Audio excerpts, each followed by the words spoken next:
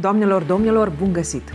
Egalitatea de șanse între femei și bărbați este definită de Consiliul Europei drept vizibilitatea, autonomia, responsabilitatea și participarea egală a femeilor și bărbaților în toate sferele vieții publice și private, acceptarea și valorificarea rolurilor reprezentanților celor două sexe, precum și diversele poziții pe care le au în societate. Dar oare cum stau lucrurile la acest capitol în țara noastră? Fără îndoială, statutul juridic al femeilor s-a îmbunătățit în ultimii ani, dar egalitatea este departe de a fi o realitate. Chiar dacă femeile au aceleași drepturi ca și bărbații, ele nu au întotdeauna acces egal la oportunitățile oferite bărbaților și, deseori, nu reușesc să-și exercite drepturile pe deplin. Discutăm despre subiect împreună cu invitații emisiunii Maluri de Nistru, femei cu idei, doamna Luiza Doroșenco, expert media, activist civic de pe malul stâng al Nistrului și Victoria Boțan, specialist relații publice din cadrul Asociației Motivația. Bună ziua, doamnelor, și bine ați venit la noi! Pentru început, vă propun să urmărim povestea impresionantă de viață a Dianei din raionul Grigoriopol, stânga Nistrului, care cu siguranță bate filmul.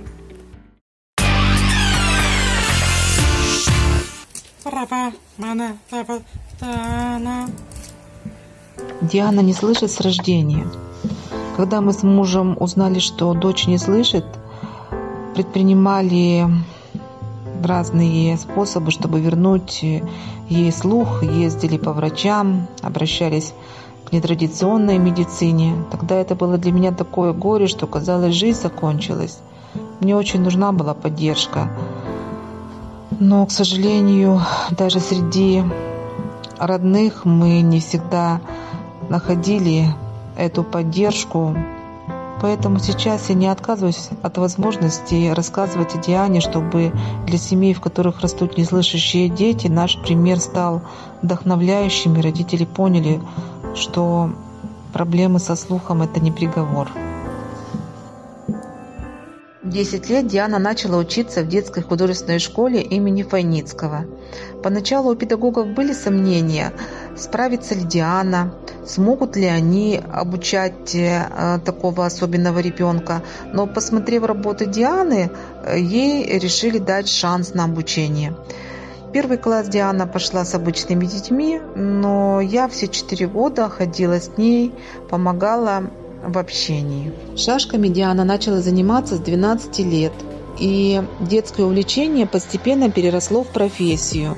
К тому времени, как Диана окончила художественную школу с отличием и успешно Бендерский художественный колледж, она была уже обладательницей многих кубков и медалей. Среди наиболее значимых достижений это первые места на чемпионатах Молдовы и Приднестровья по шашкам, Неоднократно она занимала третье место на чемпионатах мира по шашкам среди спортсменов с ограниченными возможностями своей категории, которые проходили в Болгарии и Польше.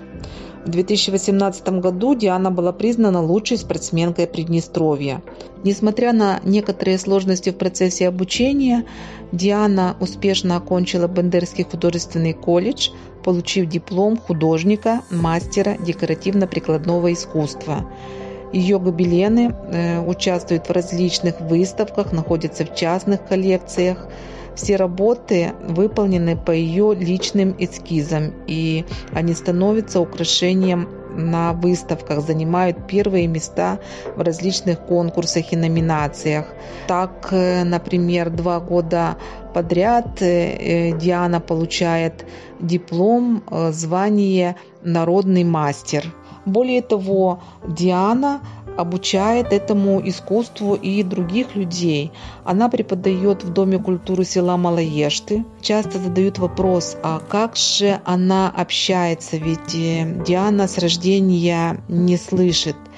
Дело в том, что в результате многолетних занятий Диана научилась понимать э, по губам и говорить. Конечно, речь у нее несколько смазанная, но те, кто с ней общаются, они общаются без переводчика. Люди не знают дактиля, и поэтому очень важно, что она может понимать других людей, и может с ними коммуникатировать речью. Иногда бывают, конечно, ситуации сложные, и тогда она пишет на бумаге или в крайнем случае рисует. И, конечно, использует э, мобильный телефон. Сейчас э, в смартфоне есть такие функции, блокнот, смартфон всегда с собой, и можно написать на нем любое сообщение, также и собеседник может написать. Поэтому особых трудностей в общении Диана не испытывает. Э, вместе с тем она общается и с неслышащими людьми. Здесь она использует дактиль, которому ее научили в коррекционной школе для неслышащих детей.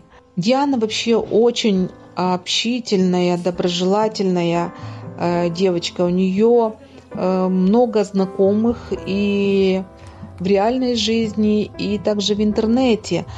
Ведь на различных соревнованиях, которые проводятся как в стране и за рубежом, она общается с разными людьми, и у них завязываются какие-то дружеские отношения. Диана делает наш мир немножечко теплее, уютнее, добрее и красивее.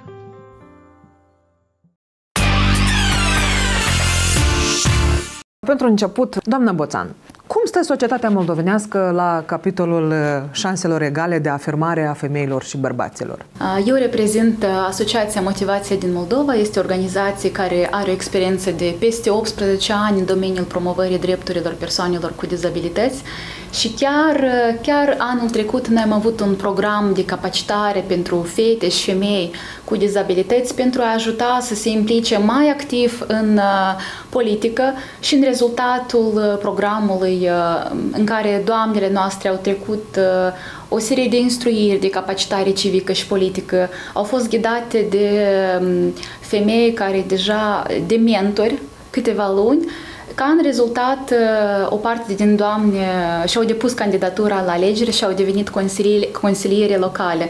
Vreau să spun că, într-adevăr, um, dacă vorbim despre experiența noastră și din constatările pe care le-am făcut atunci când discutam cu doamne, femeilor cu dizabilități, el este mai complicat să accede la o funcție publică și mai ales, nu știu, să devină primărițe, să devină consiliere locale, este mai dificil.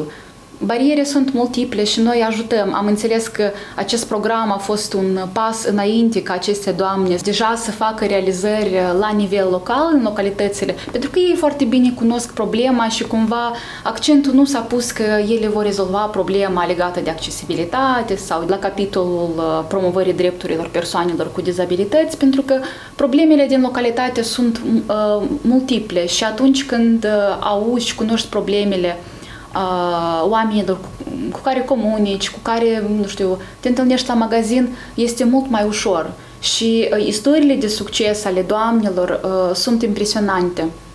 În ce constă discriminarea între cele două sexe și cum se explică asta? Dacă vorbim uh, despre femeile cu dizabilități, cred că în mare parte uh, ele se întâmpină, de fapt, discriminare dublă. În primul rând, ca femeie, în al doilea rând, și pentru că au dizabilitate, sunt percepute cumva în societate mai diferit, pentru că întâmpină dificultăți nu doar de deplasare și la nivel de accesibilitate în oraș, în transport public, în accesare de servicii, când merg la muncă sau mai ales atunci când devin aceste femei mame și trebuie să aibă grijă de copil, să-l ducă, să-l aducă, să ofere educație, este un proces foarte dificil. Alt aspect este mentalitatea. Chiar recent eu am făcut interviu cu tânără mămică, ea este o femeie cu dizabilități, soțul e la fel cu dizabilități și au o fetiță absolut sănătoasă. Și ea mi-a povestit că, de fapt, alți părinți care nu au dizabilitate, care nu au copii cu dizabilități, cumva privesc, îi privesc un pic mai suspect, adică se gândesc oarecum se descurcă ei, Uh, și cred că există un anumit risc că ea nu o să poată aibă grijă, să-l ridice, să-l coboare. Cumva încă nu suntem la nivelul acela de a percepe o femeie și mai ales o femeie cu dizabilități la egal uh, cu celelalte femei în societate. Mai este de, de lucrat la acest capitol pentru că pentru mine o societate ideală este atunci când, indiferent femeie sau bărbat, noi suntem percepuți la egal, Uh, indiferent de vârstă, statut, sex, dacă este dizabilitate sau nu, culoarea pielii, respectiv, avem acces egal la infrastructură, la servicii, și cumva uh, nu ți-e frică să devii o mămică ca să fii apoi cumva să treci printr-o serie de provocări despre care v-am menționat. Da, mulțumesc. Doamnă Doroșenco, situația este alta în stânga Nistrului? Femeia este valorificată pe picior egal cu bărbatul? Ситуация с дискриминацией, я не думаю, что у нас особенно отличается э, от ситуации, которая сложилась на правом берегу, эм, потому что э, и к неслышащим людям, людям с э, нарушениями слуха, таким как моя дочь, и людям с нарушениями зрения и опорно-двигательного аппарата и другими особенностями прослеживается дискриминация дискриминационное отношение. Так, в частности, люди с нарушением зрения жаловались мне, что, э, например, им не хотят дать сдачу в руку, кладут на прилавок, мол, забирайте, а они э, не видят. И э, что касается людей с нарушением слуха, некоторые считают, что это люди э, как бы недостаточно умные, они немножко путают с ментальными нарушениями. Эм, дело в том, что несмотря на то, что э, есть школы, где готовят, э, э, дают образование таким людям, э, все равно уровень образования там недостаточно низкий, хотя они начинают учиться с 3-4 лет и за 12 лет получают образование, равное 9 классам обычной э, общеобразовательной школы, э, все равно уровень образования там э, ниже. Ну, это зависит от многих факторов. Но это не значит, что это люди хуже в умственном развитии, чем другие люди. И вторая сторона этого вопроса, они практически лишены возможности получить профессиональное образование. И это сразу же их приводит к тому, что они либо вообще не имеют профессии, не имеют работы, следовательно, они ниже по социальному уровню. Это выводит их э, сразу же в группу э, уязвимых, социально незащищенных слоев населения. И вот эта совокупность факторов, она как бы является провоцирующим фактором для дискриминации со стороны, скажем так, обычных членов общества. Tânăra din reportajul pe care l-am urmărit la începutul emisiunii este chiar fica dumneavoastră. Povestiți-ne puțin despre drumul către victorie în condițiile în care este o femeie cu nevoi speciale. Наверное, я э, начну с э, другого конца. Я хочу сказать, что Диана очень э, успешная, счастливая, коммуникабельная девушка. Да, мы видели. Да. Но, конечно, это все не было так просто, и путь был очень сложный. Опять же, возвращаясь к вопросам дискриминации, это было и непонимание даже со стороны близких членов семьи, Э, которые рекомендовали мне, отдай э, девочку в интернат, ее там будут чему-то там обучать, а ты занимайся своей жизнью и не зацикливайся на ее проблемах. Конечно, э, я так не могла поступить, и тогда мы даже поменяли место жительства для того, чтобы быть рядом с ребенками, чтобы она не ходила в этот... Она родилась глухой необходимо, вот очень полностью, у нее вообще отсутствует слух. Эм, переехали в другую республику э, для того, чтобы там, где есть такой интернат, чтобы быть ближе к ребенку. Но когда мы пошли в этот интернат и увидели сам, само это здание и этих э, детей, то мы были с мужем в шоке и сказали, нет, мы не можем туда отдать ребенка даже с тем, чтобы там занималась она днем и вечером забирать. Поэтому, если мы приняли такое решение, то уже муж работал, а я все свое время свободное посвящала развитию ребенка. И здесь э, стало много вопросов, как обучать ребенка, как с ним заниматься. И хотелось бы, чтобы ребенок знал не только дактиль, но и умел общаться с э, обычными людьми, потому что важно, чтобы знал дактиль, но не менее важно, чтобы он мог говорить и находить какой-то общий язык с любым человеком, потому что таких у нас э, большинство. И это был э, сложный путь, и тоже мы не всегда находили понимание, и говорили, нет, э, вы не справитесь, вы калечите ребенка, вы должны отдать его в интернат, и даже приходили к нам домой с требованием, давайте, отдавайте ребенка в интернат. Но они делали это из лучших побуждений, им казалось тогда, что так э, правильно. Но мы на это не поддавались, мы видели реальные результаты в наших занятиях, и э, ребенок начал говорить, произносить первые звуки. Она же вот, она у нее есть речь, но она же не слышит, что она говорит. Это немножко такое, наверное, волшебство. Ну, потому что мы все этого хотели. И эм, в результате она потихонечку стала подниматься. Мы увидели, что она хорошо рисует, отдали ее в художественную школу. Там мы боялись сначала, но э, взяли. И э, очень важный аспект, по ее примеру брали еще и других детей. И до сих пор принимает детей с э, нарушением слуха. Эм, это Тираспольская школа художественного имени Файницкого. Потом Диана поступила в художественное училище, и там тоже очень э, настороженно отнеслись, э, как. И когда мы показали Диане на работы, ее допустили к экзаменам, даже скажу, в тот год э, сообщили, что Диана лучше всех сдала эти экзамены, и я была счастлива. Ну и параллельно же Диана занималась шашками. Получилось так, что ходил летом тренер из местного клуба, и просто приглашал детей заниматься шашками. И он не пригласил Диану, он пригласил других детей. Но я сказала, да, но они уйдут, а Диана что будет сидеть дома, берите уже Диану. Диану взяли в нагрузку. В результате все уже давно забыли о своих занятиях шашками, а Диана э, очень этим увлеклась, стала показывать очень хорошие результаты не только среди неслышащих, но она также участвует и в чемпионатах наравне с э, обычными спортсменами.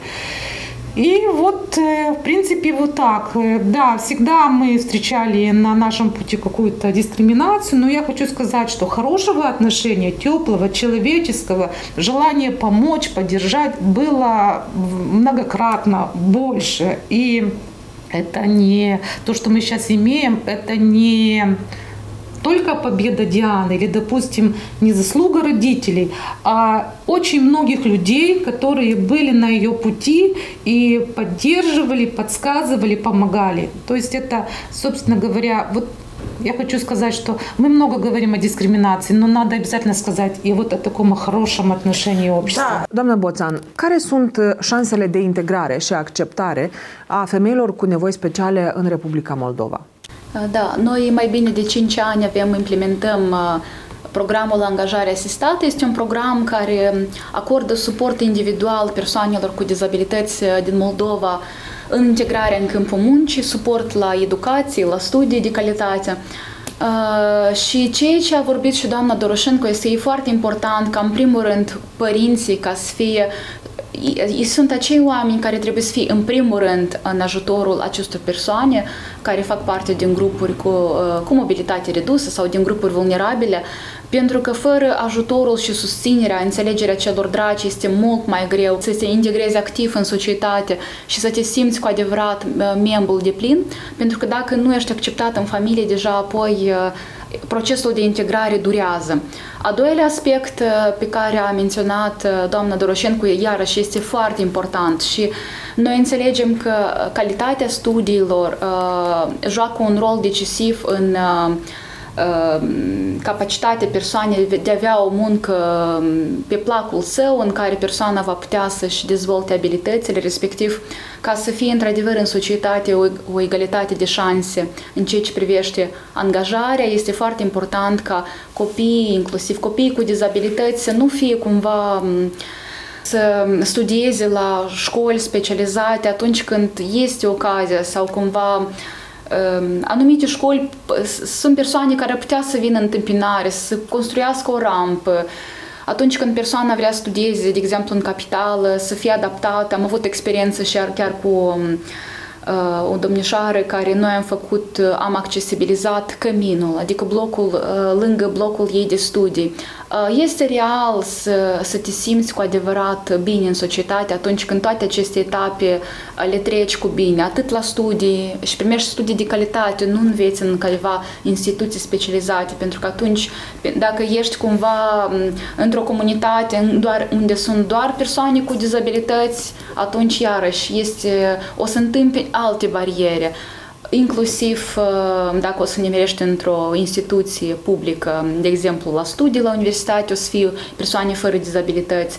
La muncă deja comunicarea cu colegii ar putea fi un pic dificilă pentru că n-ai avut experiență de comunicare cu semenii tăi fără dizabilități și sunt o serie, serie de uh, bariere dincolo de aceste bariere și de circumstanțele în care uh, se află femeile, Aș vrea să vă referiți un pic la partea frumoasă a medaliei, la istoriile care au înregistrat performanță, la femeile care au arătat că se poate.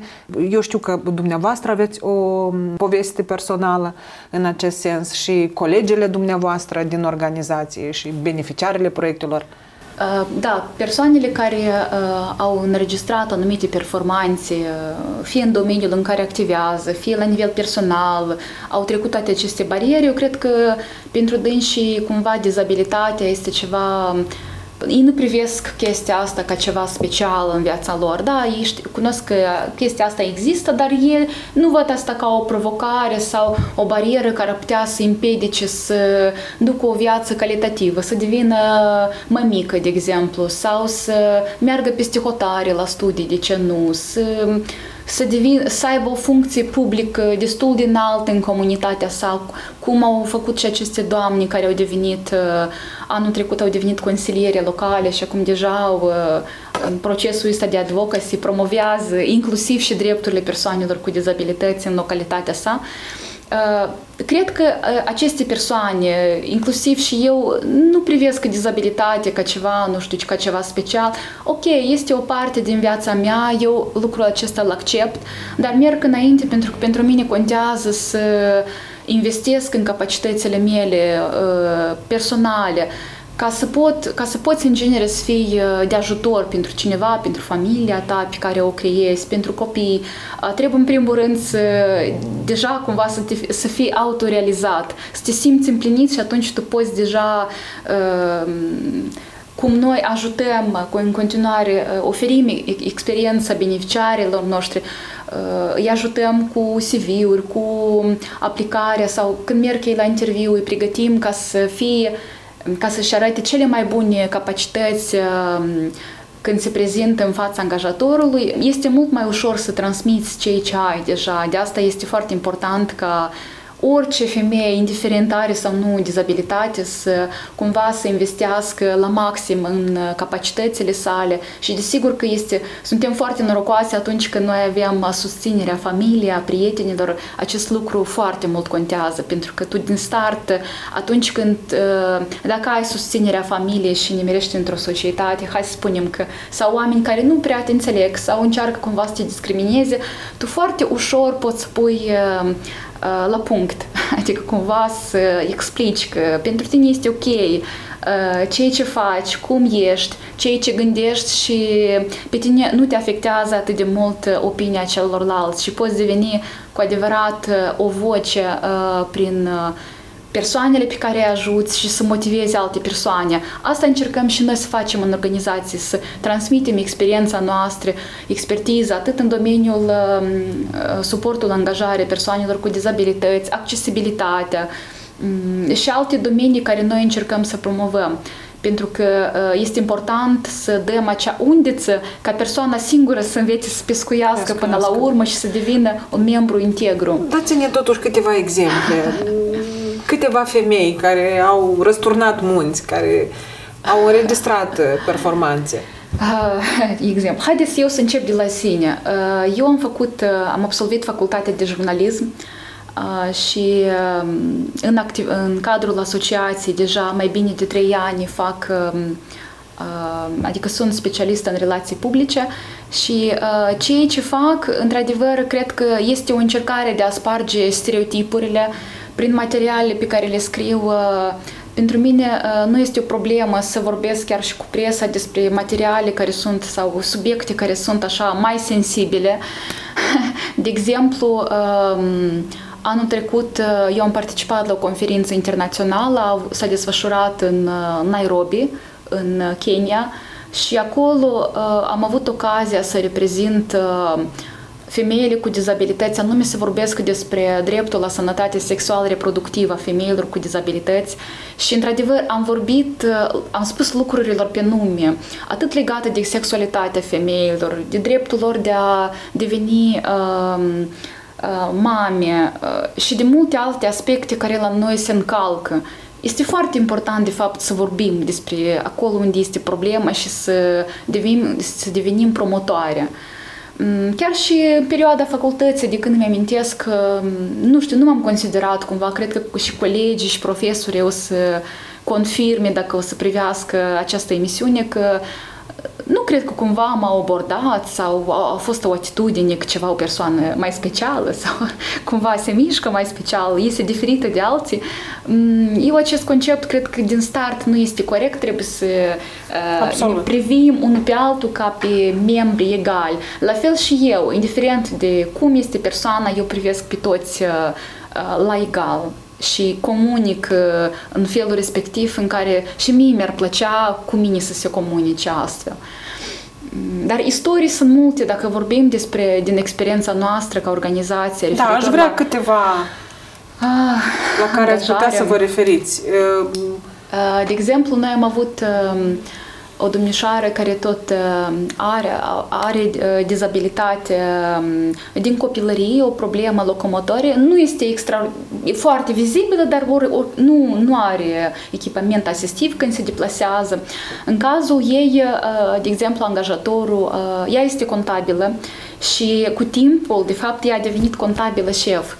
Și asta pentru că angajatorii au apreciat calitățile ele, curajul, toate cunoștințele. Ea foarte repede învăța și a foarte în scurt timp a devenit contabilă șef.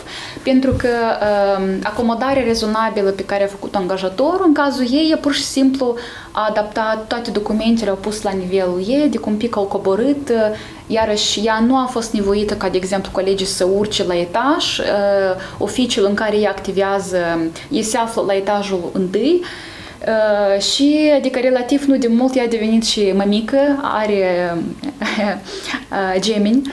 Și uh, eu cred că cazul ei, dar și cazul altor doamne, uh, nu putem nu o să-mi ajung degete pe mâini și picioare ca să numesc câte femei avem uh, puternice, curajoase, care prin uh, istoriile sale um, vor putea, cred că, inspira și alte persoane. Cazul uh, acestei beneficiare nu este unicul, credeți-mă, și foarte mulți avem și tineri bărbați care și singuri s-au reangajat și deja um, au și mașină, cumva, adică investesc zilnic în uh, în capacitățile sale nu doar ca persoană angajată, dar și persoană, adică în familie, copii și așa mai departe. Da, atunci când am sunat uh, la organizația dumneavoastră și am vorbit cu directorul executiv ca să lansez o invitație pentru emisiunea de astăzi, uh, i-am zis uh, tematica doamnei și mi-a zis, păi da, avem nenumărate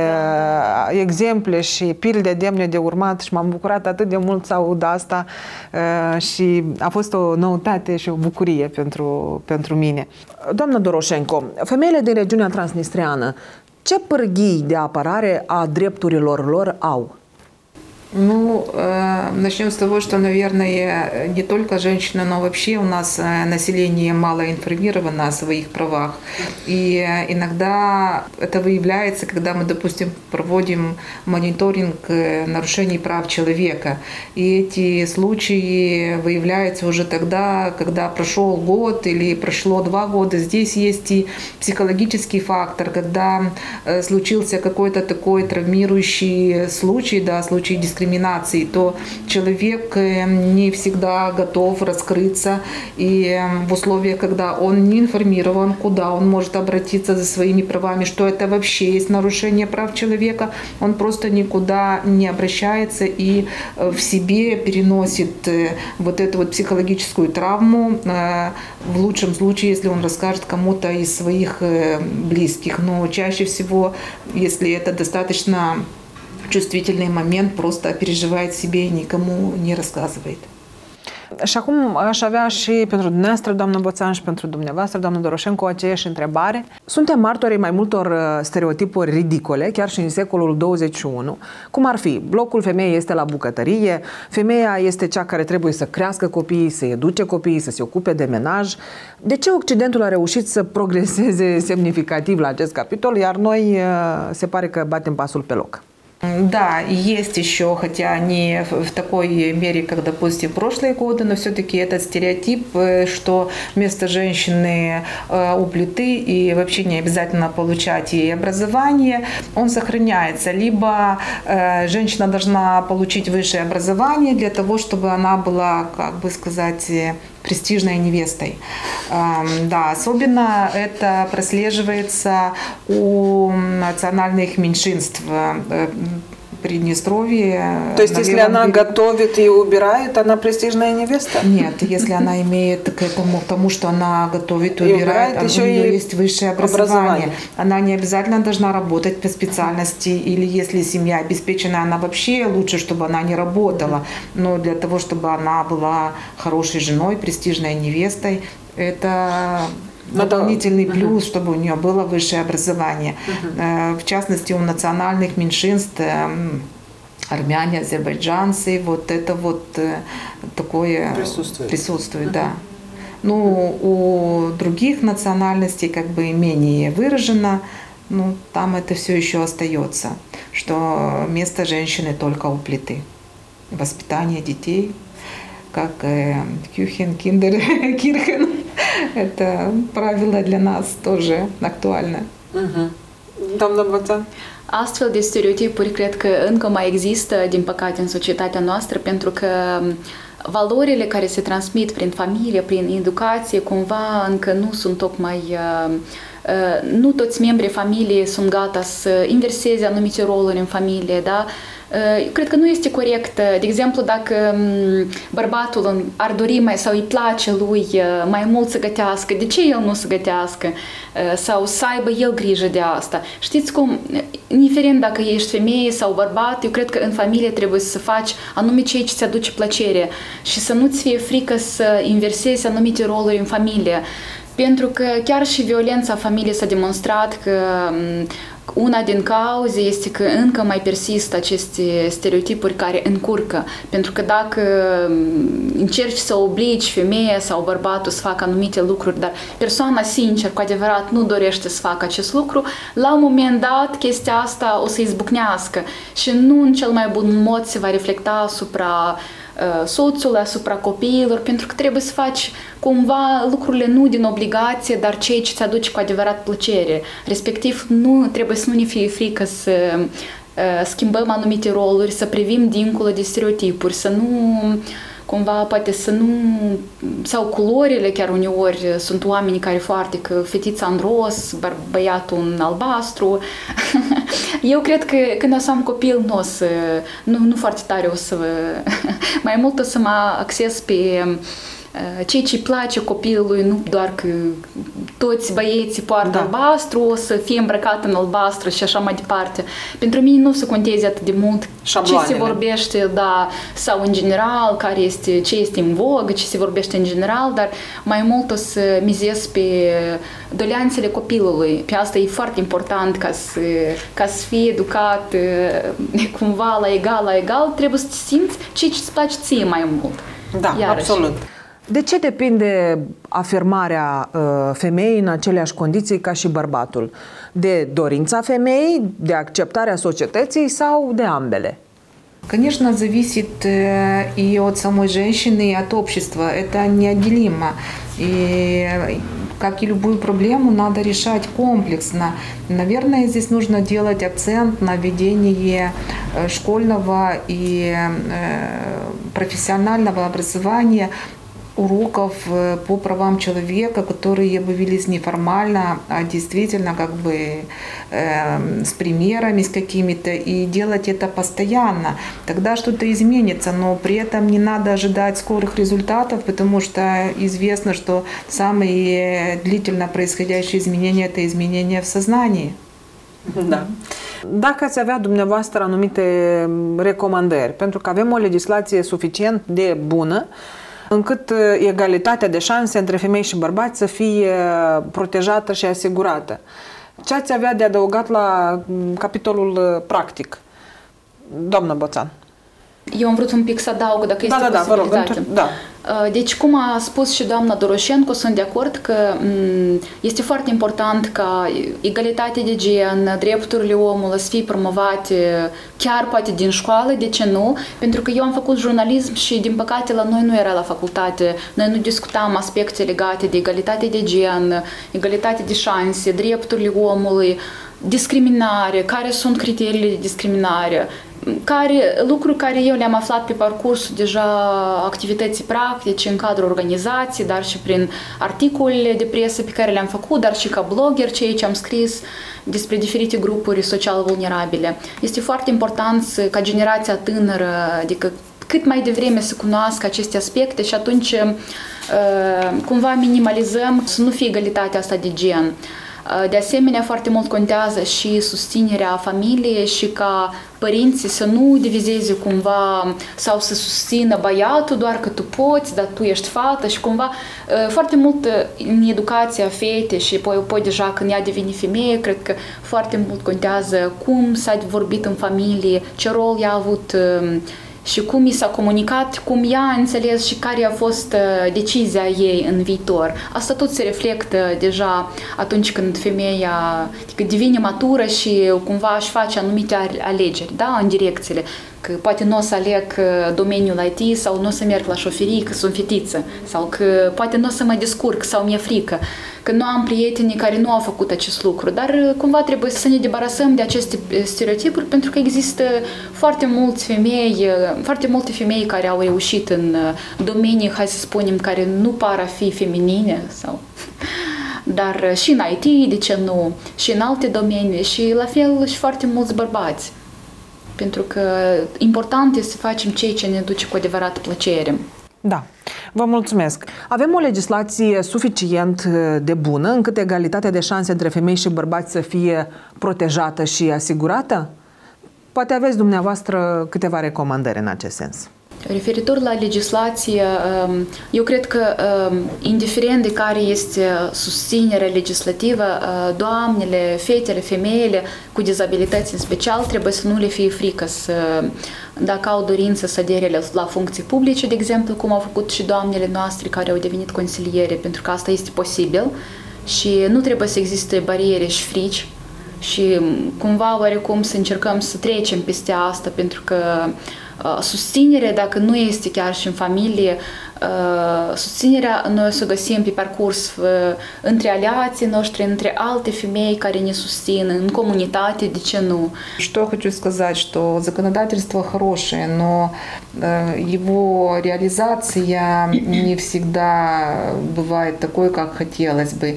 И вот, например, на левом берегу до сих пор нет закона против домашнего насилия. Знаешь, на правом берегу такой закон есть, есть охранительный ордер, как он правильно называется. В Приднестровье этого ничего нет, и женщина находится в более уязвимом положении все э, как прежде, не всегда милиция принимает э, заявления о том, что женщина пострадала от домашнего насилия, а часто женщина потом сама приходит, забирает это заявление, но мы знаем, что домашнее насилие это всегда циклично, все повторяется. Поэтому, ну, в целом законодательство неплохое. Но, конечно, требуются вот некоторые еще законы, которых э, нету, или там против дискриминации тоже нету какого-то отдельного законодательства. Мы что-то можем где-то фрагментарно находить, какие-то э, упоминания, но вот четко отдельного документа, который бы вот это регламентировал, такого нет. Да, я поняла. Doamnelor, eu vă mulțumesc tare mult pentru participarea la emisiunea noastră. Vă doresc mult succes în activitatea pe care o desfășurați fiecare dintre dumneavoastră. Iar dumneavoastră, dragi telespectatori, vă doresc toate cele bune și până la noi întâlniri. La revedere!